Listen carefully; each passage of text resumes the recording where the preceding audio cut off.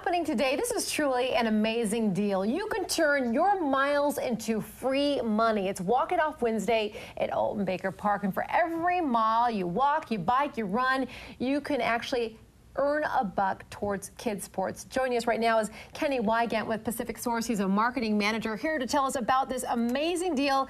It's today only though. Yes, yes. From 5 to 6.30. At Alton Baker Park. Now, Walk It Off Wednesday, it's, it's, something that's been happening actually all summer long. This is a way to get families out to exercise.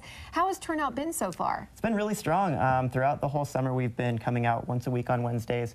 People show up, they just check in, and then they walk, get a little exercise, and, and that's it. So this is really the grand finale for the whole summer of Walk It Off. And it's like fireworks grand finale because yeah. your mileage today can go towards kid sport. Yep, that's right. For every mile people walk, run, jog, um, or bike up to up to five miles, we're going to donate one dollar for every mile covered, and it's going to go directly to the Kid Sports Scholarship Fund. I know this is happening at Alton Baker Park tonight, but for example, say somebody rides their bike in the morning, can they just walk then to head over to Alton Baker Park and log their miles? How does that work? Well, we want everybody to show up actually at Alton Baker Park, and it's more of a pledge. So mm -hmm. you'll pledge that on in that time period you're going to walk or run or bike, whatever whatever piece you, you write down. We're going to add up those miles, and at the end, that's going to be the donation.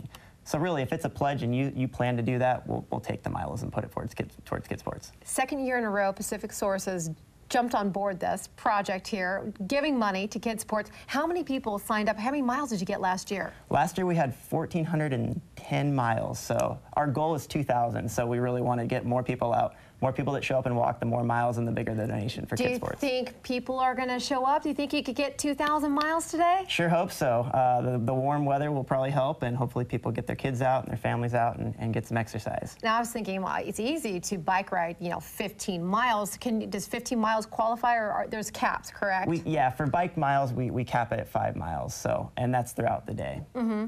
And do dog miles count? No, unfortunately, Aww. dog miles do not count, but Aww. kids ah. miles do count. So bring the kids out, and that, that's just fine. Fantastic. Well, thank you for joining us this morning. Hopefully, yeah. you guys will have a great turnout. Again, this is Walk It Off Wednesday, benefiting kids sports. That's from 5 until 6:30 tonight at Alton Baker Park.